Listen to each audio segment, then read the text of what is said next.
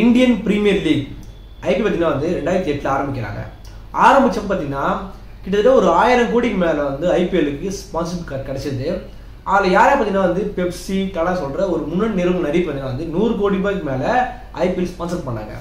ஆனால் இரண்டாயிரத்தி இருபதில் பார்த்தீங்கன்னா வந்து ட்ரீம் லெவன் சொல்கிற ஒரு ஸ்டார்ட் அப் கம்பெனி ஆரம்பிச்சு வெறும் பன்னெண்டு வருஷம் தான் ஆகுது. அந்த கம்பெனி பார்த்தீங்கன்னா வந்து இரநூத்தி இருபத்தி ரெண்டு கோடி ரூபா வந்து டைட்டில் ஸ்பான்சர் ஐபிஎலுக்கு வந்து அவங்க ஸ்பான்சர்ஷிப் பண்ணுறாங்க இந்த கம்பெனி வந்து ரெண்டாயிரத்தி இருபதுல வந்து அவங்க ஸ்பான்சர்ஷிப் பண்ணுறாங்க பட் வந்து அதுக்கு முன்னாடி நம்ம எல்லாருக்கும் தெரியும் நம்ம கண்ட்ரியில் ரொம்ப வேகமாக வளர்ந்துட்டு வர ஒரு ஃபேண்டசி பிளாட்ஃபார்ம் இவங்க பார்த்தீங்கன்னா வந்து ரெண்டாயிரத்தி இருபத்தொன்னில் அவங்களோட யூசர் வேல்யூ மட்டும் பார்த்தீங்கன்னா வந்து ஒன் ஃபார்ட்டி பில்லியன் யூசர் வந்து அவங்க வச்சுருக்காங்க. ஆனால் பார்த்தீங்கன்னா வந்து அந்த அந்த கம்பெனியோட டோட்டல் வேல்யூ பார்த்தீங்கன்னா வந்து எயிட் பில்லியன் டாலர்ஸ் சொல்கிறாங்க அவங்க. ரெண்டாயிரத்தி இருபதுல அதாவது அதாவது பார்த்தீங்கன்னா ரெண்டாயிரத்தி இருபதுல அவங்க ஸ்பான்சர் பண்ணுறாங்க அந்த வருஷத்தில் மட்டும் அவங்களுக்கு வந்த ரெவன்யூ மட்டும் பார்த்தீங்கன்னா வந்து நூற்றி எண்பது கோடி. அந்த கம்பெனியோட மொத்த இது வரைக்கும் அந்த ரெவன்யூ பார்த்தீங்கன்னா வந்து ரெண்டாயிரம் கோடின்னு சொல்கிறாங்க என்னடா நீ எடுத்த உடனே நூற்றி ஐம்பது கோடின்ற ரெண்டாயிரம் கோடின்ற? அப்படின்னு ட்ரீம் என்னதான் இருக்கு? அவங்க வந்து எப்படி தான் வந்து இவ்வளோ காசு வந்து அவங்க வந்து ஏர்ன் பண்ண ஆரம்பிச்சாங்க? அது மட்டும் இல்லாமல் ட்ரீம் வந்து ஒரு கேம்லிங் தானே? இது எப்படி லீகல் ஆச்சு? இது எப்படி கவர்மெண்ட் ஒத்துக்கினாங்க சொல்லிட்டு நமக்கு நிறைய கேள்வி வரும். ஃபர்ஸ்ட் நம்ம வந்து இந்த ட்ரீம் லெவலோட மாடல் ஒர்க் என்னன்னு பார்ப்போம். ட்ரீம் மாடல் ஒன்றுமே இல்லைங்க. நீங்கள் வந்து எக்ஸாக்டாக நீங்கள் வந்து ஒரு டீமோட ஸ்பெசிஃபிக்காக எடுக்கவே முடியாது. ஒரு டீமில் மேக்ஸிமம் வந்து ஒரு ஏழு பேரோ ஒரு டீம்ல இருந்து நீங்கள் வந்து நாலு பேர் எடுத்தாங்க நீங்கள் வந்து ஒரே டீமில் பாருங்க பேர் நீங்கள் வந்து எடுக்க முடியாது. இதுதான் அந்த டீமோடைய ஃபஸ்ட் ஒன்று வந்து ஒரு கான்செப்ட் இப்போ நான் சிஎஸ்கே பிளேயர்னு வச்சுங்களேன் சிஎஸ்கே வந்து மூடி எனக்கு. நான் சிஎஸ்கே வந்து விரும்புகிறேன் வச்சுங்களேன் நான் வந்து இப்போ சிஎஸ்கே மும்பைக்கு மேட்ச் வந்தேன்னா நான் சிஎஸ்கேலேருந்து வந்து ஏழு பேர் எடுப்பேன். மும்பை நாலு பேர் எடுப்பேன். மேக்ஸிமம் என்னால் வந்து ஒரு டீம்லேருந்து ஏழு பேர் தான் எடுக்க முடியும். ஸோ ரிமைன் நாலு பேர் வந்து நான் ஆப்போனட் டீமில் எடுத்தாகும் அப்படி இல்லை நீங்கள் வந்து இப்போ சிஎஸ்கேலேருந்து ஒரு அஞ்சு பேர் இருக்கலாம். இப்போ மும்பை இந்தியன்ஸ்ல ஒரு ஆறு பேர் இருக்கலாம். ஸோ இதுதான் வந்து இந்த கேமோட ஃபர்ஸ்ட் திங் ரெண்டாவது பார்த்தீங்கன்னா வந்து நீங்கள் எடுக்கிற பதினோரு பேருக்கு வந்து அவங்க தர பாயிண்ட்ஸ் பார்த்தீங்கன்னா வந்து நூறு பாயிண்ட்ஸ் தருவாங்க. ஸோ அந்த நூறு பாயிண்ட்ஸ்க்குள்ள நீங்கள் வந்து பதினோரு பிளேயரை நீங்கள் பிக் பண்ணி ஆகணும். இப்போ நீங்கள் தோனியும் ரோஹித் சர்மா பிக் பண்ணுறீங்க அப்படின்னா தோனி வந்து இப்போ ஒரு ஒரு பதினோரு பாயிண்ட் இருக்கிறாரு. ரோஹித் சர்மா பதினோரு பாயிண்ட் இருக்காங்கன்னா இருபத்தி ரெண்டு பாயிண்ட் வந்து இவங்க ரெண்டு பேருக்கே போயிடும். ஸோ ரிமைனிங் இருக்கிற ரெண்டு பாயிண்ட்ஸை நீங்கள் வந்து மிச்சம் இருக்க ஒம்பது பேர் நீங்கள் வந்து பர்ச்சேஸ் பண்ணி ஆகணும் ஸோ வந்து அவங்க அவங்க அவங்க வந்து உங்கள் டெட்லைன் வைக்கிறாங்க. ஸோ வந்து இந்த நூறு பாயிண்ட் வந்து நீங்கள் வந்து பதினோரு பேர் இருக்கிற மாதிரி. ஸோ நீங்கள் நூறு பாயிண்ட்டுக்குள்ளே நீங்கள் வந்து நீங்கள் பதினோரு பேர் நீங்கள் வந்து மிக்ஸ் பண்ணி கொண்டு வந்து ஆகணும் சரி இப்போ வந்து ஒரு டீம் ஃபிக்ஸ் பண்ணிட்டீங்க அப்படின்னா அது பார்த்தீங்கன்னா நீங்கள் வந்து ஒரு கான்டெஸ்ட்குள்ளே போவீங்க. கான்டெஸ்ட் பார்த்தீங்கன்னா வந்து பத்து ரூபாலேருந்து ஒரு ஐயாயிரரூபா ஆறாயிரரூபா ஆறாயிரம் கான்டெஸ்ட் வேல்யூ இருக்குது ஸோ அது கான்டெஸ்ட் பண்ணி நம்ம நம்மளுடைய இஎம் தான். ஸோ நம்ம நம்ம எவ்வளோ வந்து இன்வெஸ்ட் பண்ண போகிறோமோ அந்த இன்வெஸ்ட்மெண்ட் பண்ணி நம்ம வந்து கான்டெஸ்ட் செலக்ட் பண்ணி நம்ம உள்ள கேம் ஆரம்பிச்சிடலாம்.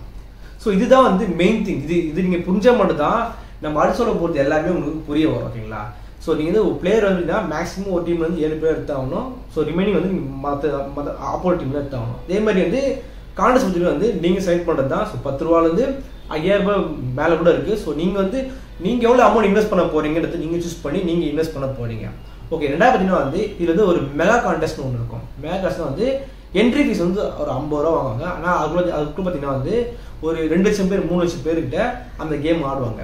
ஸோ இது எப்படி பார்த்தீங்கன்னா வந்து ரெண்டு லட்சம் பேர் மூணு லட்சம் பேரில் ஃபஸ்ட்டு வர ஐம்பது பேர் தான் வந்து ப்ரைஸ் தருவாங்க. ரிமைனிங் வந்து தோற்றுருவாங்க ஸோ ஃபஸ்ட்டு ரெடி பண்ணி வந்து இந்த ஃபஸ்ட்டு வின் பண்ணுறது ஹையஸ்ட் அமௌண்ட் இருக்கும்.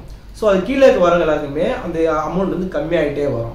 இப்போ நீங்கள் வந்து ஒரு ஃபஸ்ட்டு நீங்கள் வரணும் அப்படின்னா நீங்கள் எடுக்கிற பதினோரு பிளேயருமே வந்து எப்படின்னா பர்ஃபெக்டாக நீங்கள் எடுத்தாகணும். அந்த பதினோரு பேருக்குமே வந்து அதிகமான பாயிண்ட் எடுத்தாகணும். ஸோ அது மட்டும் இல்லாமல் இது நீங்கள் இப்போ நான் சொன்ன அந்த பாயிண்ட்ஸ் சொன்னல அந்த பாயிண்ட்ஸ் வந்து எதை பேஸ் பண்ணி கிடைக்கும் அப்படின்னு பார்த்தீங்கன்னா வந்து அந்த பிளேயர் வந்து இப்போ பேட்ஸ்மேன்னா அவருடைய ரன் அவர் எவ்வளோ ரன் அடிக்காரு ஃபோருக்கு ஒரு பாயிண்ட் இருக்கும் சிக்ஸுக்கு வச்சா ஒரு பாயிண்ட் இருக்கும். அது இல்லாமல் ஐம்பது ரன்னா ரெண்டு பாயிண்ட் தருவான்னு நினைக்கிறேன். நூறு ரன்னா வந்து நாலு பாயிண்ட் தருவாங்க. ஸோ மாதிரி அந்த ரன்னை பேஸ் பண்ணி உங்களுக்கு பாயிண்ட் சேரும். இப்போ வந்து ஒரு ஃபீல்டர் அப்படின்னா அவர் கேட்ச் பிடிச்சா ஒரு பாயிண்ட் அவர் ரன் அடிச்சா வந்து இன்னொரு பாயிண்ட் மாறும். இப்போ ஒரு பவுலர் அப்படின்னா ஒரு விக்கெட் எடுத்தா ஒரு பாயிண்ட் எடுக்கும். இப்போ ரெண்டு விக்கெட் எடுத்தா டபுளாக கிடைக்கும் ஸோ நாலு விக்கெட் அப்படின்னா ஸோ இது மாதிரி வந்து உங்களுக்கு பாயிண்ட்ஸ் வரும். அந்த பாயிண்ட்ஸ் பேஸ் பண்ணி யார் அதிகமான பாயிண்ட்ஸ் வராங்களோ அவங்க தான் ஃபர்ஸ்ட் வினர் ஆவாங்க. ஸோ இது பேஸ் பண்ணி வந்து அந்த வினர்ஸ் அவங்க வந்து கொண்டு வராங்க. இந்த கேம் வந்து முழுக்க முழுக்க வந்து உங்கள் கண்ட்ரோல் கிடையாதுங்க. நீங்கள் வந்து ஒரு பிளேயர் எடுத்துட்டீங்க. ஓகே நீங்கள் ஒரு கான்டெஸ்ட்டில் என்ட்ரி ஆகிட்டீங்க டாஸ்க் போட்டாச்சு மேட்ச் ஆரம்பிச்சிச்சுன்னா நீங்கள் செலக்ட் பண்ண பிளேஸை உங்களால் மாற்ற முடியாது. ஸோ வேறு இல்லாமல் நீங்கள் வந்து கேம் நீங்கள் இப்போ ஆடி தான் ஆகணும்.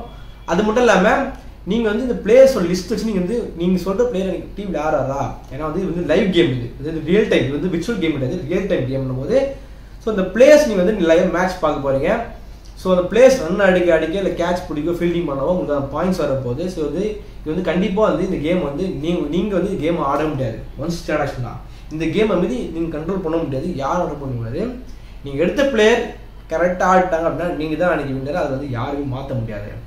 ஆனால் ஒன்று பார்த்தீங்கன்னா வந்து நீங்கள் வின் ஆகிறதும் ஆகாமல் போகிறதும் நீங்கள் எழுதுகிற பிளேயரை பொறுத்து தான் இருக்குது இதுதான் பார்த்தீங்கன்னா வந்து இந்த ட்ரீம் லவோட மாடல் இதை பேஸ் பண்ணி ட்ரீம் ஒர்க் ஆகுது. ஓகே இப்போ ட்ரீம் லவ் பார்த்தீங்கன்னா வந்து எப்படி அவங்க வந்து சம்பாதிக்கிறாங்க அப்படின்னு பார்த்தீங்கன்னா இப்போ நான் சொன்னேன்ல ஒரு மெகா காண்டஸ்ட் சொன்னல மெகா காண்டஸ்ட்டில் என்ட்ரி ஃபீஸ் வந்து ஒரு ஐம்பது ரூபா எடுத்துக்கலாம் சரிங்களா?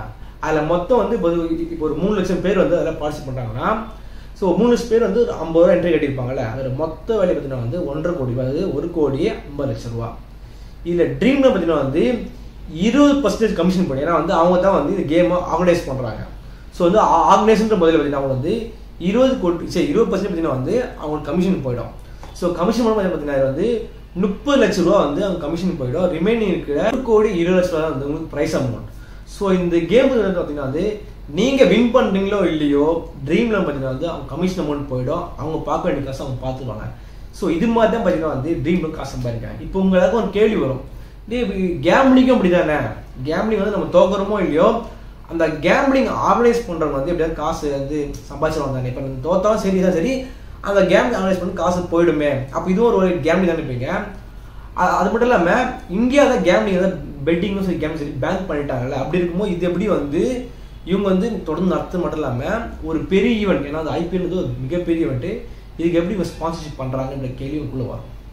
இந்த கேள்வி பற்றி பார்த்தீங்கன்னா வந்து ராஜஸ்தான் கோர்ட்டில் பார்த்தீங்கன்னா வந்து சந்திர சங்கரன் சொல்லிட்டு ஒருத்தர் பார்த்தீங்கன்னா ஒரு கேஸ் ஃபைல் பண்ணுறாரு அந்த கேஸ் பார்த்தீங்கன்னா வந்து இந்த ஃபேண்டசி கேம் மட்டும் இல்லாமல் ட்ரீம் லெவல்ஸ் பார்த்தீங்கன்னா இது ரெண்டுமே வந்து மக்களை வந்து ஏமாற்றி காசு சம்பாதிக்காங்க இது கிட்டத்தட்ட இது வந்து ஃப்ராடு வேலை இது. இது வந்து ஒரு கேம்லிங் தான் சொல்லிட்டு ஒரு கேஸ் போடுறாரு ஆனால் கேஸ் பார்த்தீங்கன்னா வந்து ராஜஸ்தான் கோர்ட் வந்து அவங்க மட்டும் முடிவு எடுக்காம பஞ்சாப் ஹரியானா மும்பை இந்த மூணு கோர்ட்லையும் வந்து டிஸ்கஸ் பண்ணி இந்த கேஸை வந்து தள்ளுபடி பண்ணுறாங்க அந்த தள்ளுபடி பண்ணுறதுக்கு அவங்க கண்டிப்பாக வந்து ஒரு கோர்ட் பார்த்தீங்கன்னா ஒரு தள்ளுபடி பண்ணும்போது ஒரு ரீசன் சொல்லி அவங்க ஏன் இந்த இந்த கேஸ் நான் தள்ளுபடி பண்ணணும் ரீசன் வரல அந்த ரீசன் வர வந்து இந்த பெட்டிங் கேம்லிங்காக இருக்கட்டும் இல்லை நீங்கள் வந்து ஒரு கேம் மாதிரி நீங்கள் காசு கட்டுறீங்க அப்படின்னா இது முழுக்க முழுக்க ஒரு லக்கர்ஸ் தான் பண்ணுறீங்க ஏன்னா நீங்கள் வந்து நீங்கள் கெசினோட பார்த்துருப்பீங்க. ஒரு ஒரு ரிங் மாதிரி இருக்கும். நான் நிறைய நம்பர்ஸ் இருக்கும். நீங்கள் பால் சுற்றி விடுவாங்க அதில். அதில் வந்து நீங்கள் எக்ஸாக்டாக வந்து ஒரு நம்பர் சொல்லணும். அந்த நம்பருக்கு பால் நின்னா உங்களுக்கு அமௌண்ட் வந்துடும் உங்களுக்கு வந்து ஏன்னா அந்த சைடு எவ்வளோ ஸ்பீட் சுற்றி நமக்கு தெரியாது நம்மளுக்கு. அந்த பால் எங்கே நிற்கப்போ தெரியாது நம்மளுக்கு. ஒரு குத்துமை நம்ம லக்கில் வந்து ஒரு நம்பர் சொல்கிறோம் அந்த நம்பர் என்ன காசு. இதுதான் வந்து கேம்லிங் அந்த சீட்டாக சீட் வரும்ல. அது வந்து எந்த சீட்டு யாருன்னு நமக்கு தெரியாது நம்மளுக்கு. ஸோ நீங்கள் லக் இருந்தால் அந்த சீட் நம்மளுக்கு வரும். ஸோ வந்து இது பேஸ் பார்த்தீங்கன்னா இந்த பெட்டிங்காக ஆகட்டும் கேம்லியாக ஆகட்டும் இது ரெண்டுமே வந்து பேஸ்ட் ஆன் லக்கு தான். ஆனால் வந்து இந்த ட்ரீம் லெவல் வந்து அப்படி இல்லை. இது இது வந்து இது ஒரு நாலேஜும் ஸ்கில்லும் வேணும் இந்த கேம் மாறுதுன்னு சொல்கிறாங்க அதை தொடர்ந்து அவங்க சொல்கிறாங்கன்னா இந்த ட்ரீம் லெவல் நீங்கள் வந்து ஒரு பிளேயர் நீங்கள் சூஸ் பண்ணுறீங்க அப்படின்னா அந்த பிளேயர் நீங்கள் வந்து முன்னாடி நீங்கள் வந்து அனலைஸ் பண்ணியிருப்பீங்க. அவங்க ஸ்கில்லாக இருக்கட்டும் அது இல்லாமல் அவங்க ஸ்ட்ராட்டஜி மட்டும் இல்லாமல் அவரோட ஹிஸ்ட்ரி இந்த பிளேயர் வந்து ஓகே இந்த கிரவுண்டில் எப்படி ஆடுவார்.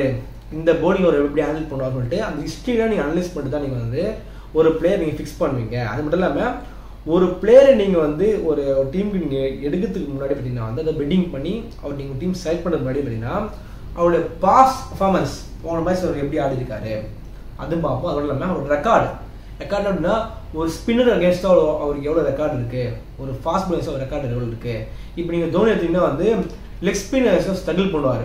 ஸோ தோனி வேணா ஒரு கீழே தான் வராது ஆக்சுவலாக ஒரு ஹிட்டர் ஷேப்பில் வந்து ஒரு ஃபிஃப்த் ரவுண்ட் அப்படியே வருவார் அவர். அப்படியே வந்து மேக்ஸிமம் வந்து ஸ்பின் முடிஞ்சிருக்கும் ஃபாஸ்ட்டில் லாஸ்ட் நாலு ஓவர் டுவெண்ட்டி ஓவர் மேட்ச்னும் போது லாஸ்ட் நாலு ஓவர் கண்டிப்பாக பேச தான் போடுவாங்க. அந்த டைம் தோனி தான் பெரிய ரன் நடிப்பார் ஆனால் இதே இந்த பன்னெண்டாவது ஓவர் பயமே ஆகும்போதுனா அவர் டாட் பால் ஆடுறதுக்கு வாய்ப்பு அதிகமாக இருக்கும். விக்கெட் ஆகும் வாய்ப்பு இருக்கும் ஸோ இது மாதிரி நம்ம வந்து ஒரு பிளேயர் அனலைஸ் பண்ணுவோம். அனலைஸ் பண்ணி வந்து நம்ம ஒரு பிளேயர் வந்து நம்ம நம்ம டீமுக்குள்ளே எடுப்போம். இந்த கேம் ஆடுறது அப்படின்னா வந்து வெறும் லக் மட்டும் இல்லாமல் நீங்கள் ஒரு அனலைஸ் பண்ணுறது மட்டும் இல்லாமல் உங்களுக்கு ஸ்கில்லும் நாலேஜும் உங்களுக்கு வேணும். இந்த கேம் வந்து புரிஞ்சுது அவளுக்கு ஸோ அதனால வந்து இந்த வந்து வந்து கேம்லிங் இல்லை. இது எப்படின்னா வந்து ஒரு நாலேஜை பேஸ் பண்ணி ஆடுற ஒரு கேம் அது மட்டும் இல்லாமல் கேம்லிங் வந்து ஒரு விர்ச்சுவல் வேர்ல்டில் ஆடுறது. நமக்கு என்ன நடக்கும்? நம்மளுக்கு வந்து அடுத்து என்ன நடக்குதுன்னு நமக்கு தெரியாது நம்மளுக்கு.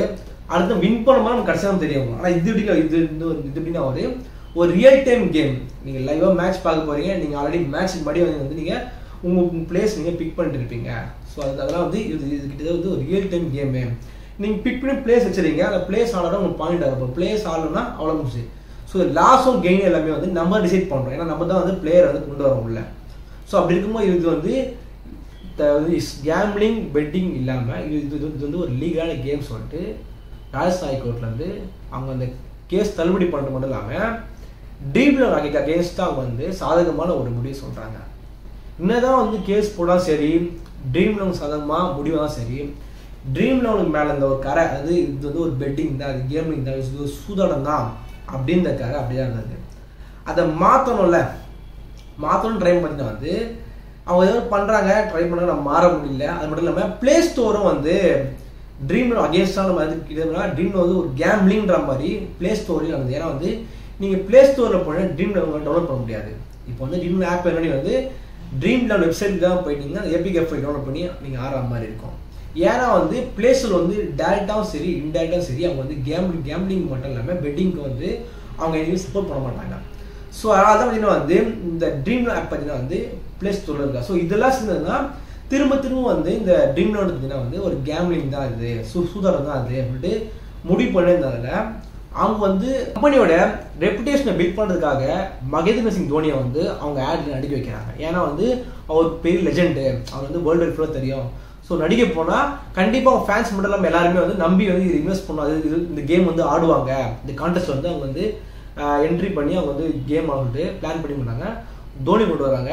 அப்போ பார்த்தீங்கன்னா வந்து அந்தளவுக்கு அவங்க பீக் ரீச் ஆகிறதுனால ஆக ஆக முடியுதுனால ரெண்டாயிரத்தி இருபதில் ஐபிஎல்லோட டைட்டில் ஸ்பான்சராக ஸ்பான்சர்ஷிப் பண்ணுறாங்க அப்போ வந்து நான் மக்களுக்கு என்ன தோணுன்னா ஓகே டிவியில் ஒரு ஆடு வரலாம். அந்த ஆடு வந்து கே அவங்க கீழே வந்து போடுவாங்க. கண்டிஷன் அப்ளைன்னு போட்டுருவாங்க. நம்ம வந்து நம்ம வந்து ப்ராப்பராக நாலேஜ் இருக்காதுன்னு நம்ம விட்டுருவோம் அதை.